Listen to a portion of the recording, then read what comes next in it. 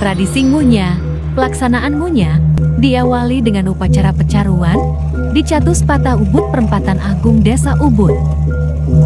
Tradisi ngunya ini merupakan tradisi yang dilaksanakan oleh masyarakat desa adat Ubud menjelang Sasi Kanem menurut kalender Bali.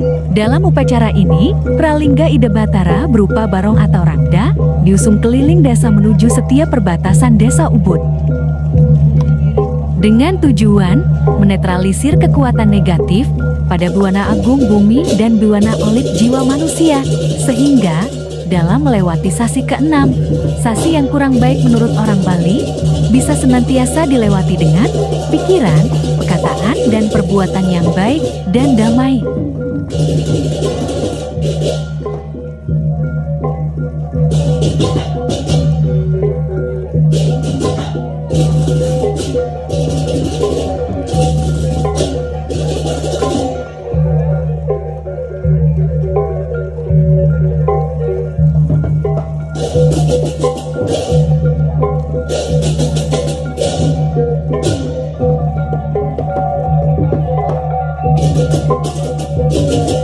Dumogi Sarang Sami, Setata Rahayu.